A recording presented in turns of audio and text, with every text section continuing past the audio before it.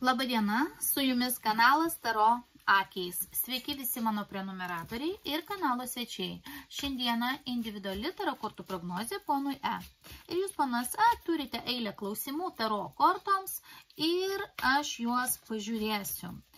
Noriu pasakyti, kad taro kortos kalendoriaus nepažįsta konkrečiai ten kažkokios konkrečios datos metų, įvardinti jos negali. Jos parodo tam tikrą laiko intervalą arba prie kokių aplinkybių gali įvykti vienas arba kitas įvykis. Ir iš to jūs galite maždaug suprasti, kada tai bus. Nes pas jūs daug klausimuose vyrauja, kada, kada, kada, na, jums labai rūpi laikotarpis. Todėl aš mėginsiu kortose pažiūrėti įvykius maždaug, kokių tokių įvykių sukūryje tai gali įvykti. Ir matysim, kaip kortos nurodys tą laikotarpį. Taigi, pirmiausia, žiūriu um, jūsų pirmąjį klausimą. Ar ateityje keliausiu? Ir aišku, jūs pridedate kada ir ar daug aplankysite a, ten šalių. Mm -hmm. Gerai. Pirmas klausimas, ar keliausite ateityje. Taip keliausite, nes krenta žvaigždės korta, bet iš karto žvaigždės, žvaigždė, kaip paprašėte, taip ir nurodo laiką. Jinai nurodo laiką nuo 2-3 iki 6 metų. O tai laikotarpis yra negreitas, vadinasi, aš galiu drąsiai teikti, kad šiais metais jūs tikrai nekeliausite. Tai nusikelia ateičiai. Tai nusikelia ateičiai, bet sakykime, na, kad labai jūsų ten neužtemti to laiko, na, per artimiausią penkmetį jūs turėsite galimybių tai pradėti daryti. Tai jau yra geras rodiklis. Ir a, korta rodo, kad jūs kažką norint tai padaryti, jūs turėsite kažką trupučiuką neramiai ir skaudančią širdim palikti ar tai vietą, ar tai artimuosius, ar tai darbo vietą, ar tai kažkokias tai aplinkybės susidėlios, ką, ką jums bus sunku palikti ir jūs todėl nesiryšite, vis nukelsit, nukelsit, nukelsit ir vis nekeliausit, nes jums, nu, suprantate, auką kažkokią padaryti reikės, norint pradėti keliauti. Taip neišeis, kad viskas taip sukrito, susidėliojo į vietas, idealiai sutiko ir aš dabar keliauju kažką reikės mm, gan nelengvai keisti, kažko atsisakyti. Žodžiu, gaunasi taip. Vardant kelionės teks atsisakyti kito kažkokio tai gan gero dalyko, situacijos kažkokios tai geros susiformavusios, kurios jums atsisakyti nesinorės. Va čia bus tokia dilema jums. Toliau, jūsų keliavimo laikotarpis bus pro, protarpiais. Iš pradžių jūs keliausite, suprantate, lyg per atostogas, lyg pasiemęs kokias nors nemokamas galbūt atostogas. E, žodžiu, tarpą keliausite, tarpą nekeliausite. Žodžiu, lyg toks bus ne iš karto. Rodo kortus, kad taip ne iš karto. Čiaukšt nukertų viską ir dabar tik keliauju. Bus toks lyg truputėlį perėjimo laikotarpis, toks prisipratinimo tas laikotarpis psichologinių požiūrių, visų tokių kitų niuansų svarbių aplinkybių požiūrių. Taip, žiūrėkit, krenta kaip jūsų mama arba kaip kažkokia jūsų moteris nauja, vat jūs nematote, kad įtaka darys tam visam sprendimui jūsų mama arba jūsų kažkokia tai mylima moteris. Tam irgi labai įtakos daug turės. Prieš tai anksčiau ir iki šiol pas jūs yra begalinis užsidegimas, begalinė tokia vidinė jėga tai daryti. Matosi, kad pas jūs begalinis noras yra tai daryti. Dabar žiūrėkit, įvyks labai didelė transformacija. Bet jeigu jūs galvojate, kad jūs artimiausių metų čia keliausit, viską susiplanuosit, va tai ne, taip nebus. Bus kardinaliai viskas kitaip, negu jūs galvojate, negu jūs planuojate.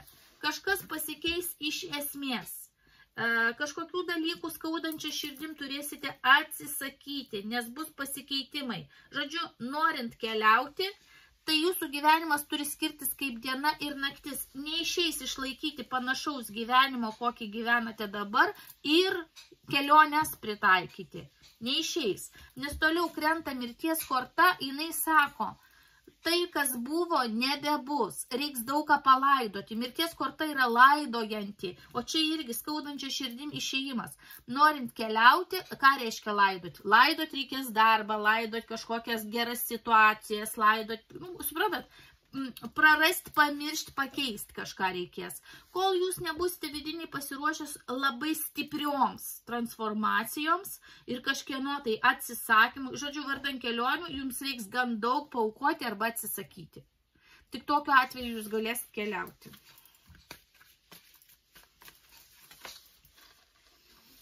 Jūs pats, aišku, labai nusiteikęs gerai, norite keliauti. Išorė rodo, kad rodo lyg jums trūkumą, lyg jums tęsia laiką. Va čia yra korta, kuri tęsia laiką, te, pauzės tokias daro, uh, o čia tokia vėl korta, kuri rodo ištėsia, ištėsia, ištėsia laiką. Vėlgi, neišeis greitai to padaryti. Tai turi būti toks kaip perėjimas.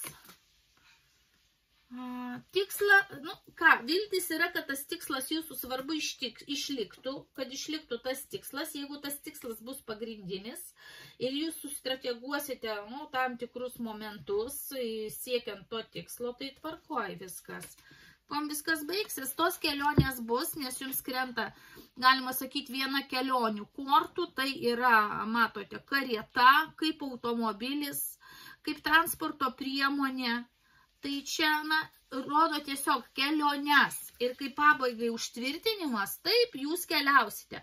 Jūs keliausite, va štai, prie tų tam tikrų transformacijų, pasikeitimų, prisiderinimų ir net aukų ir praradimų. Taip. Mm, bet to galima sakyti, tas jūsų kelionės gali prasidėti tokios nedidelės, jeigu, jeigu taip smulkintis. Automobilis, galbūt kelionė automobiliu, gal kelionė autostopu, gal kelionė vėl pasirinkat, kokias transporto priemonės pasirinkat, kokius kelionių būdus pasirinkat, kokiu būdu jų keliavimo būdai vėlgi yra. Gal trailerį, pavyzdžiui, pirksit, aš nežinau, ko, ko, kokia vizija jūsų yra kelioniai. kelioniai Na, suprantat, nuo to irgi daug kas priklauso. Bet atsakymas taip, taip, ateityje jūs keliausite, va, atsižvengiant prie, prie tų visų aplinkybių. Jeigu jūsų tas tikslas toliau tebedegs kelionę ir jūs gebėsite paukoti, pavyzdžiui, su, suderinti ir meilę, ir šeimos reikalus, darbus, pinigus, viską taip, kodėlgi ne? Taip, atsakymas yra taip, keliausite. Dabar, ar daug aplankytumėte, tai rodo pradžiai punktyriškai, po truputėlį, na, pažiūrėkim, ar daug aplankytumėte. Mm, norėtumėte daugiau, pasakysiu, atsakymas yra toks, norėtumėte daugiau, bet gali trukdyti šeima, asmeninis gyvenimas, jeigu jūs dar Mhm, svajonių daug, fant... oi, kiek jūs turėsite fantazijų, jūs jau šiandien žvalgotės, jūs labai labai to norėsite, tačiau aš pasakysiu taip, pradžiai jums nepavyks atlankyti visko ir tiek daug, kiek jūs norėsite. Taip, kad galima atsakyti, kad pavyzdžiui, jeigu jūs šiandien įsivaizduojat, va, 100 procentų esate susiplanavęs aplankyti tiek, tai maždaug skelkit per pusę ar dar mažiau tiek nepavyks, kiek norėtumėte. Um, toliau, ar sutiksite savo gyvenimo meilę ir kada? Ar sutiksite savo gyvenimo meilę, moterį, žinot, toks jausmas, kad pradžioje jūs gal eisit į pasimatymus, gal mėginsit e, kurti pažintis ir vis dar tokių į tarpą gal bus nesėkmių, gal tai ne jūsų žmonės, gal tai bendravimas ne su tom moterim, ne su tom merginam, tai galite nesusidėlioti kažkas, e, bet toliau rodo, va, tokia, žinot, kaip jums iš pradžių, atrodys, kad jau užsikabinot, kad tai jūsų žmogus ir po kurio laiko atrodys, žinot, tai yra toks pasakymas, mūšį laimėjau, karo neina laimėti. Suprantat, laimėjau mūšį, bet ne karą. Tai toks jausmas, kad iš pradžių, vat, kol jūs atrasite, bus dar tų daug mūšių. Daug mūšių reikės praeiti, jūs galvos, gal jau jinai ir pasirodys, kad nu, vis dėlto ne tas žmogus. Gal jau jinai ir vėl pasirodys, kad ne tas žmogus. Žiūrim aplinkybės toliau. Va, vėl rodo tokius intervalus. Toje pačioje pozicijoje, kaip ir su kelionėmis, klausiau, vėl krenta ta pati korta Galbūt tai jūsų kelionės, jeigu jūs pradėsite, pavyzdžiui, keliauti, tai jūs suprantate, tie, tos kelionės irgi gali trukdyti. Mat, suprantate, čia daug, daug, daug niuansų yra, daug tokių niuansų yra. Taip. Žinot, rodo šeimą. Jums rodo, jeigu jūs ir susirasit savo gyvenimo meilę, tai moteris norės jau šeimos. Norės rimto gyvenimo, norės šeimos, norės vaikų, norės paramos, norės, kad jūs šalia būtumėt. Ir suprantat, kaip gaunasi jau pauzės. Tai jums reikia rinktis, ar tai jūs šeimos žmogus esat, ar jūs kelionių žmogus. Suprantat, jeigu jūs norit vienu metu ir keliauti, ir šeimos, ir mylimosios, ir vaikų, čia, čia jau nebedėra. Jūs turite apsispręsti arba jūs keliaujat ir žinot, dar mirties korta ką galėjo sakyti. Jeigu jūs dabar jau norit ir kelionės, ir šeimą derinti, tai jūsų kelionės tada turi būti kaip pajamos, tada, kad ta šeima suprastų, kodėl jūs keliaujat. Jeigu jūs šeimą numetėt, turit šeimą numetėt, o keliaujat savo malonumui, tai čia suprantat, niekas jūsų nesupras. Šeima reikia būti šalia šeimos, rūpintis šeima. Tai tada viskas iširsta. Mirtis korta galėjo parodyti, kad jūs jau turėjote keliauti, jau turėjote atsikeliauti, jau turėjote ten prisikeliauti, atsipalaiduoti ir pradėti dabar šeimos kūrimą. Nesuprantat dabar kaip sunku, norint dar su, turėti mylimąją vaikų ir šeimą, jau dabar nu, dar pasunkėja tada kelionių idėja. Jeigu jūs tada kažką atmestumėt, tada lengviau sukurti kažką būtų. Arba jūs tada koncentruojatės ties kelionėmis ir nekūrėt dar šeimos, arba jūs tada atsisakote kelionių ir jums rodo punktyrinius dalykus, kai galėsite. Jeigu jūs norite ir šeimą turėti vaikus ir dar keliauti, tai tada vėl ta punktyrinė korta, kad tai keliauju, tai vėl negaliu, tai keliauju, nekeliauju, keliauju, nekeliauju. O todėl ir susidaro korto atsakymas, kad tada, jeigu jūs norit viską suderinti, jums neišeis apkeliauti labai daug, arba atsipalaidavus keliauti, arba ir rūpeščių keliauti, bei ir pareigojimų ten kažkam keliauti. O šitaip, suprantat, nu nedėra, kortos rodo nedėra. Norint suderinti, nu, ne viskas jums tada ir pildasi visas, arba, arba reikia kažkokį tai aukso viduriuką rasti. Arba tai su šeima bus pykčiai, arba su kelionėmis ten visos vizijos jūsų nesipildys. Taip, šansas bus. Šansas jums susirasti moterį bus, bet šita korta dar dažnai rodo e, tokį kaip pasiūlymą pasiūlymą, šansą, o kartais netgi sužadėtuvių žiedą. Tai vad, kadangi čia rodo šeimą, čia rodo šeimą, e, labai išskirtiniais atvejais rodo kartais ir neštumą, va čia to kortą, pažiūrėkim, moteris, moteris, moteris norės. Jeigu bus moteris, va tikroji meilė jūsų gyvenime, jinai norės rimtų dalykų. Jinai norės ne tik lovos reikalų, seksualinių dalykų. Na, aišku, galima mėginti tada surasti moterį, kuri dar vaikų nenorės, šeimos taip staiga nenorės ir su, e, galbūt turės nuotolinį darbą, tada jums iškyla dar didesnės tokios, e, tokie iššūkiai rasti moterį su nuotoliniu kokiu darbu, kad jinai galėtų dar sutiktų ir norėtų su jumis keliauti. Čia irgi kaip variantas, ar ne? Nu va, daug tada susideda į vieną ir tada vieną pradeda trukdyti kitam. Viskas nesukris į viską, į vieną. Todėl kortos įrodė, kad norint keliauti, jums reikės kažką paukoti. Galbūt paukoti meilę, šeimų, še, šeimos turėjimą, vaikų auginimą atidėti. Kažką reikės aukoti. Taip, taip, moteris atsiras, jeigu jūs jos ieškosite, norėsite, galvosite, stengsitės, taip, atsiras va imperatorienė yra, taip, bus, bus, taip, taip, meilė bus. Meilė, santykiai, jausmai, įsimylėjimas, jums pažintis kažkokia, jums įrodoma, taip rodoma. Taip, jūs sutiksite. Dabar kada? Žiūrim kada. Kada. Hmm. Žiūrim, kada. Ar kortos parodytų maždaug laikotarpį arba prie kokių aplinkybių tai bus, kada tai bus. Kada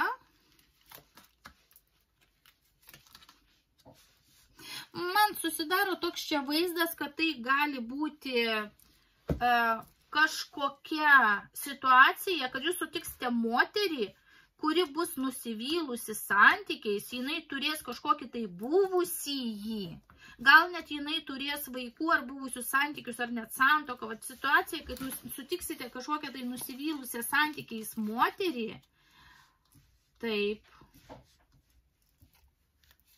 Ir jinai irgi žvalgysis kažkokių tai rimtų santykių, rimtos meilės.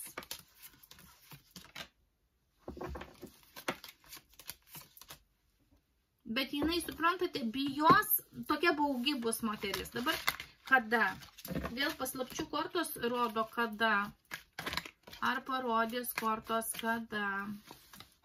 Vėl iliuzija tam tikra. Pirminis gerai. Pirminis variantas yra toks, kad gali tai atsitikti uh, per septynės, nuo septynių savaičių iki metų.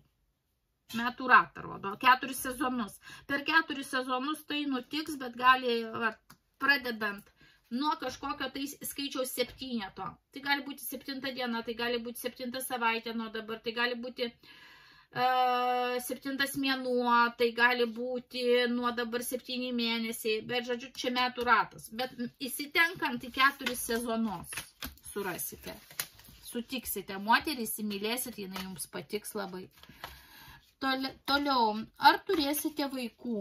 Ir vėl klausite, kiek. Na, tas kiek arba kada labai yra, tiksliai kortos taip negali nusakyti, bet aš pamėginsiu, kadangi jūs jau taip norite sužinoti, žiūrėsiu. Ar turėsite vaikų? Taip turėsite, rodo iš karto neštumą, turėsite vaikų. Atrodo, tradicinė santoka, turėsite siūlyti seksualiai nusiteikusi, būsit nusiteikęs. Žiūrėkite, vaikų turėsite, bet žiūrėkite,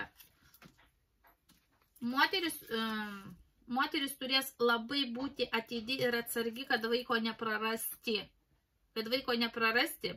Ir jeigu jūs santykius pradėjęs jau užsimeks vaikelis, labai saugokite šitos santykius, nes yra pavojus, krenta velnio korta, krenta kalavijai, krenta problemos, o čia saugojimas. Reikia vaikelį saugoti, būkite labai atidus savo moteriai, nes vienas variantas, vaikelį jinai gali prarasti, kitas variantas, jeigu labai stipriai susipyksite ir jūs ją nuvilsite, jinai gali iš pykčio netgi vaikelio atsisakyti. Todėl labai atsargus būkite su su, žodžiu, savo vaikelio užmėgsgimu.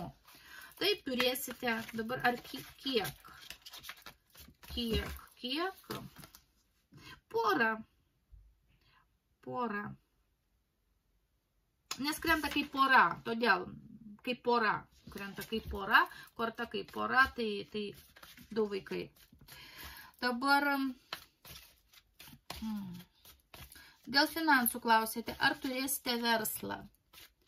Žiūrite, kaip bus jūs, su finansais, ar jūs turėsite verslą. Nu, kažkaip, ar tai jūs turėsite du variantus. Jeigu jūs norite verslą turėti, jūs reiškia turit kažkokį pagrindinį darbą turėti ir šalia pradėti jau papildomą veiklą. Gal gyventi iš kelionių, gal kokį kelionių, kokį kelionių video daryti, gal dar kažką. Kažkas šalia turi būti rodo didelę konkurenciją verslui.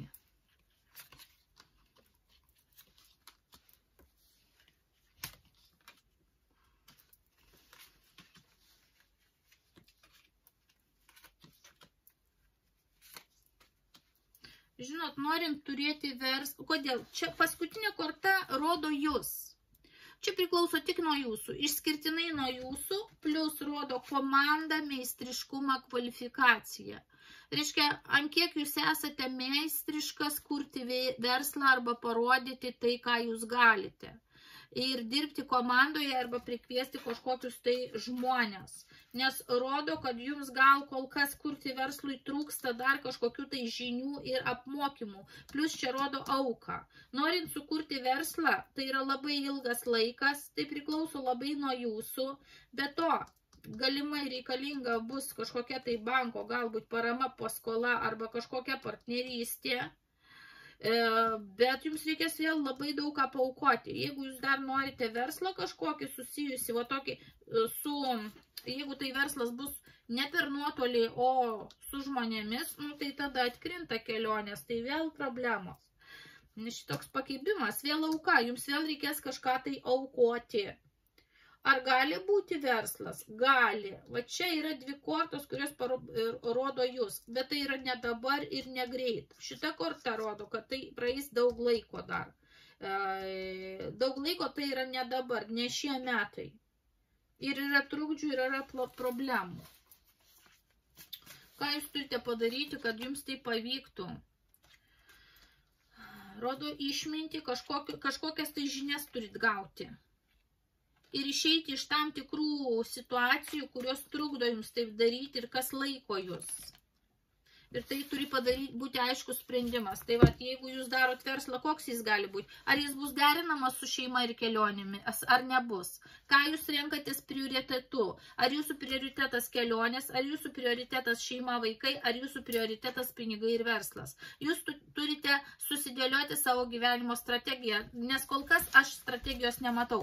Kol jūs neturėsite strategijos, ką, kaip jūs tai padarysite, tol e, gali būti, kad pas jūs ne vienoj srity iki galo neišsigrynins niekas. Kas yra strategija? Žodžiu, aš dabar jums čia pamokslo nesakysiu, bet, pavyzdžiui, planas ir strategija yra skirtingi dalykai. Pasidomėkit, kas yra strategija ir kodėl žmonės, kurie tik planuoja ir vykdo planą kažkokį, tai nepasiekia nieko daug.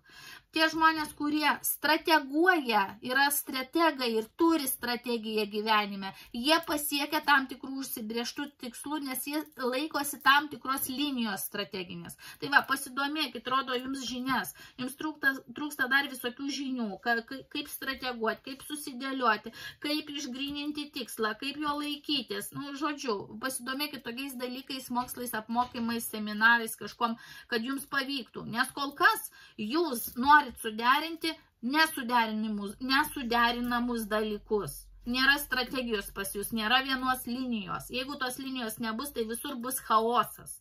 Tai va čia yra labai svarbu. Klausėte toliau, ar viskas bus gerai su jūsų sveikata.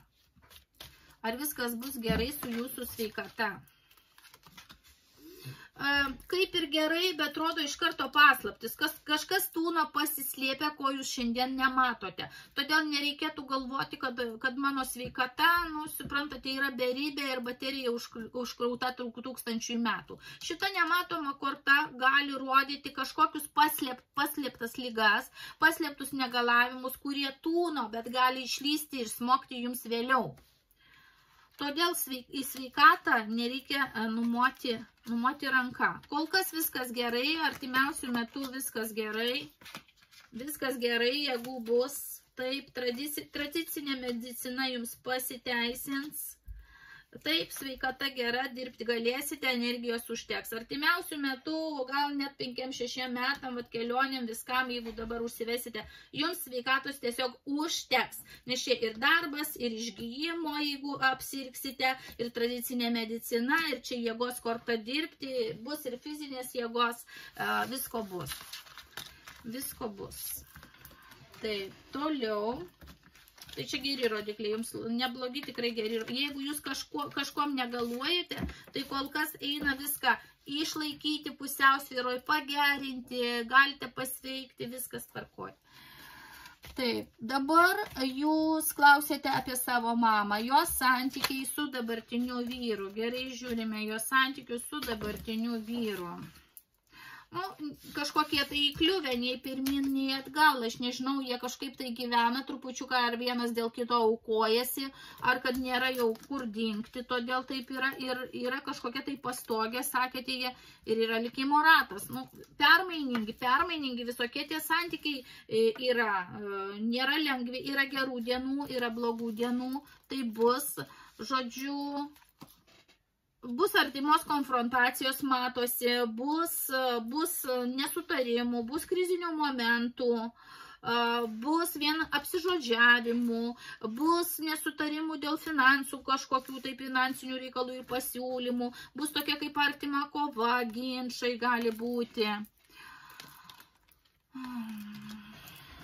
Nu ir vėl kažkokie tai paslėpti dalykai. Gali vienas, vienas kitam jausti, kad va, tu man neduodi pakankamai kažkokio dėmesio, o tu man neduodi, o tu ten finansus netaip skirstai dar kažkas. Toliau rodo tam tikras juridinės paslaptis, kažkokius tai reikalus, kažko, kažką mama sužinos, kažką turės spręsti su įstaigomis, kažkokius tai dokumentus, pasi, dokumentus pasirašyti, galbūt kažką ruošiasi pirkti, parduoti, kažką daryti, nes čia reikalingi, bet čia trupučiuką paslaptis rodo. Tai žiūrėkite, jūsų mama, jeigu, pavyzdžiui, su šito vyriškiu jie planuoja kažką tokio, ar planuos ateityje kažką daryti su, su finansais, su nekilnojimu turtu, gyvenimu, tai, tai nuo mamos gali būti nuslėpti kažkokie tai svarbus reikalai, dokumentai, tegul jinai irgi kontroliuoja padėti dėl visokiausių įstatymų ir, ir juridinių ar, ar kokių nors įstaigų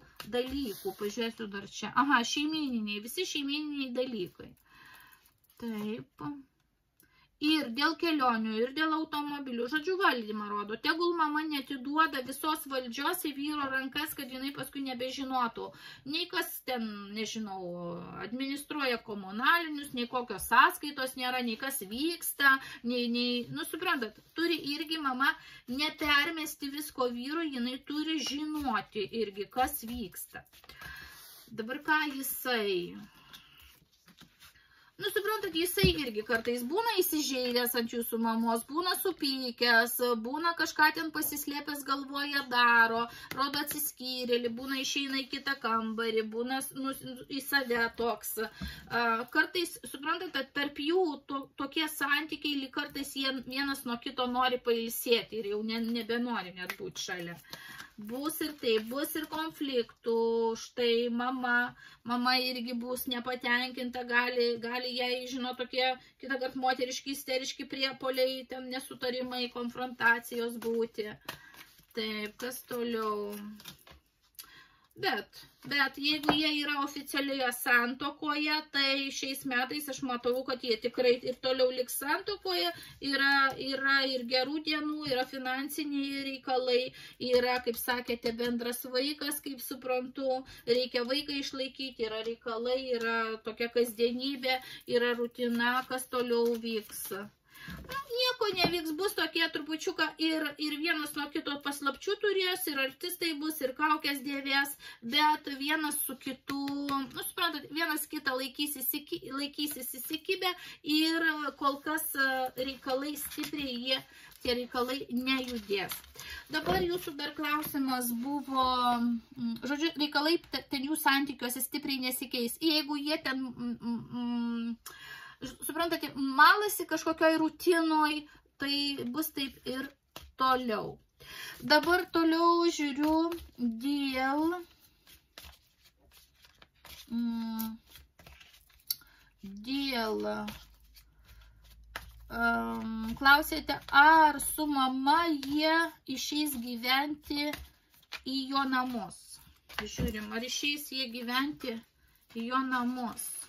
Nu, žiūrėkit, rodo automobilį, karietą, važiavimo keliones. Galbūt tai priklauso nuo jūsų kelionių, jeigu jūs išvažiuosit keliauti, galbūt.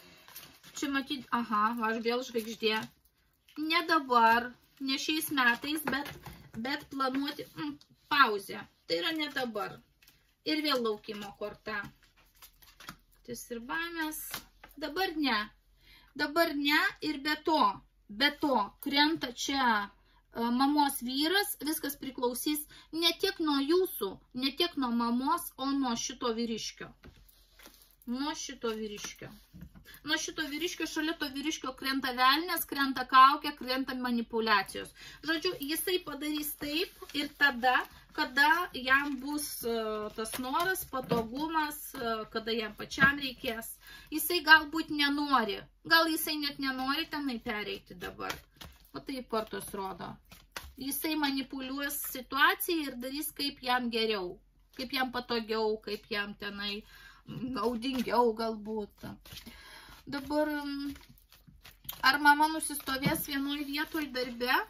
Kažin, kažin, kaip, žodžiu, mama kiekvienam darbe bus dalykų, kas mamai netiks ir nepatiks Taip, kiekvienam darbė jai bus kažkokios situacijos, aplinkybės, žmonės, va, e, vadovai, e, kad kažkas nepatiks. Bus kažką pasakė vėl, vėl įstatymai pasikeitė, darbo tenai koks nors grafikas, kažkas, jinai vėl ir vėl svajos kažką rasti geriau, arba viltis dės į savo vyrą, kad galbūt jis ir toliau, na, jinai galės jį laikyti kaip trupučiuką tokiu, uh, kaip ir finansinių ramščių bent jau uh, vaikui. Bet jinai visada ir toliau, nu kaip, nežinau kiek metų, bet bent jau artimiausių metų, va 1, 3, 3 metus, tai dar jinai vis tiek nerimaus ir žvalgysis vis geresnio, ramesnio, stabilesnio varianto darbuose. Ar mamos sveikata bus stabili? Ar mamos sveikata bus stabili? E, ne, nebus stabili nebus stabili, tegul mama pasisaugo, apskritai tegul mama pasisaugo kažkokių tai situacijų. O čia mamos korta toliau, jeigu pagal stichiją žiūrėti, toliau nuo jos priklausys, kaip jinai saugosis. Va čia krenta jinai pati eina bokštas ir mirties korta, kur rodo, kad jinai gali neapsižiūrėti. Tegul atsargiai vairuoja, tegul atsargiai eina per gatvę, tegul atsargiai lipa laiptės, tegul aukštai, ne, tegul atsargiai su įrankiais prietaisais visokiais, tegul namuose atsargiai ten nepalieka dujų, vandens šiaut, pajungtų kažko tai ugnies, dar kažkokių tai prietaisų lygintų, aš nežinau, kažkok tai. Gali mamai pa, pa, toks netikėtumas, gali staiga kažkoks skausmas atsirasti, gali staiga kokie, kokios, nežinau, nugara, sanariai, kažkas tai tokio uh, netikėto, taukšti ir pablogėjo, ne, ar ne, kažkokią tai dieną. Tai va, mama turi stebėti, labai, va, jinai nemato, kad jinai turi stebėti, va, šalia stebėjimas su žvaigždės korta, tai yra pastoviai stebėti sveikatą ir naujausiom technologijom tenai, kokie yra dabar išrasti visokios technologijos sveikatai stebėti. Tai jinai tegul nepamiršta, kad ją, e, va tokie kaip tyrimai, turi, turi jai e, būti, jinai jau gal jo, jau šiuo metu jinai žiūrisi kažką, gal arba toj tuoj. Žodžiu, visada turi būti kažkokiam stebėjime jinai. Kimoratas. Viskas dar priklauso, vėl vyriškis krenta, kuom viskas baigsis, viskas baigsis gerai. Žiūrėkit, kas be nutiktų jūsų mamai, kaip jinai be sunegaluotų, kaip jai būtų silpna, jinai atsistatys. Viskas bus gerai. Va dabar žiūriu, kiek čia laiko. Medikai. Jeigu dabar sunegaluos per pusmetį, tai, tai viskas bus gerai, viskas bus ištaisyta, nes čia labai eina geros kortos, tačiau įtaką dar padarys. Va čia jūsų mama iškrito, čia iškrito jūsų, kaip patėvis, sakyt, mamos vyras, čia jisai yra. Ehm, čia jisai yra, čia jūsų mama yra tai dar ir nuo jų, aišku, santykių priklauso. Juk jeigu mama gerai jausis ir, kaip sakoma, psichologiškai gerai jausis, tai ir sveikata bus geresnė nuotaika, geresnė entuzijazmas e, geras. Tai va, stengtis sutarti su juo, stengtis rasti bendrą kalbą.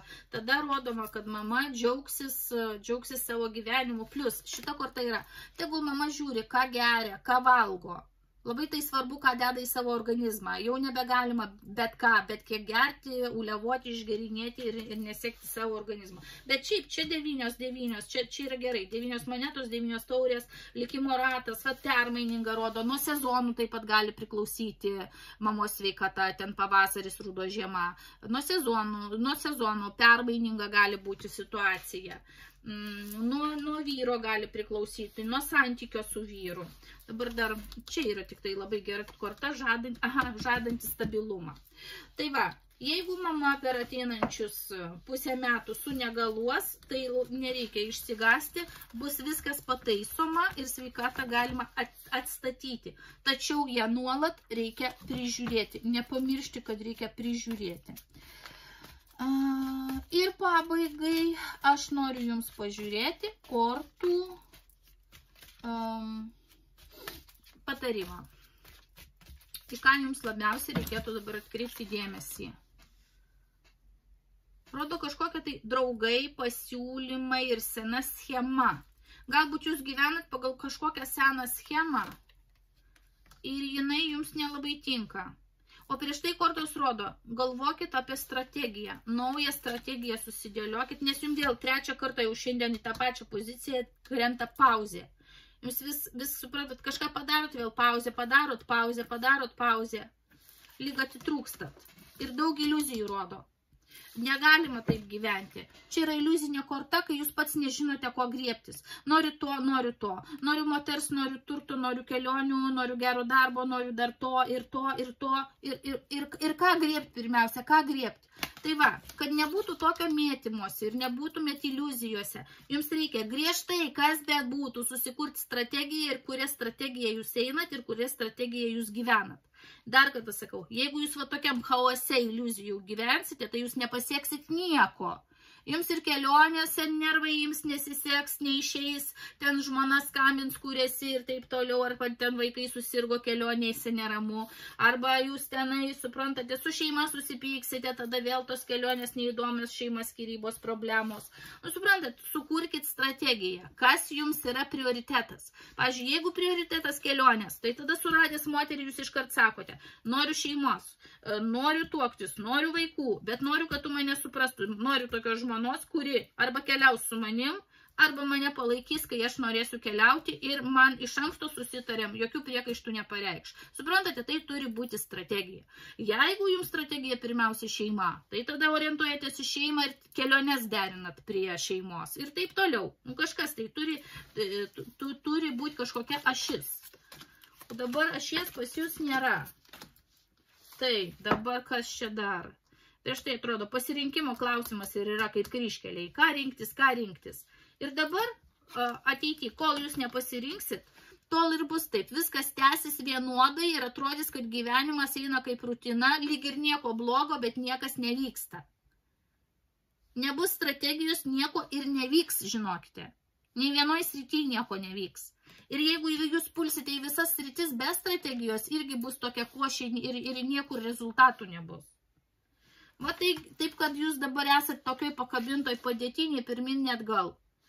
Um, žemyn galvą esantis žmogus turi į situaciją pažiūrėti kitaip, nes jisai pakabintas žemyn galvą pasaulį pamato kitaip. Pamatykit save kitaip, saulė nušvinta galvoj pakabintojo ir jisai pamato pagaliau, nusprendžia, apsisprendžia, susidėlioja, kaip, ką jam daryti.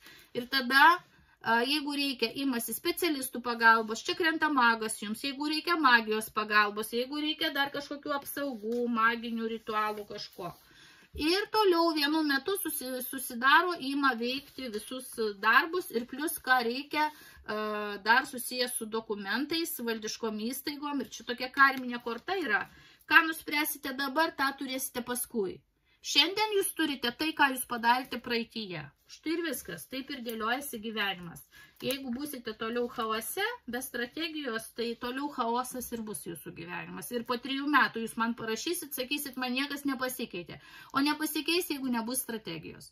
Ir jos reikia griežtai laikytis. Pavyzdžiui, jeigu jūs nusi... nutarėt keliausiu, Bet ėmėt ir sutikot merginą, oi, o gal nebekeliausiu, nes ją myliu. Suprantat, jau viskas, išsimušat iš savo strategijos. Tai arba, arba. Tai, manau, mane supratote.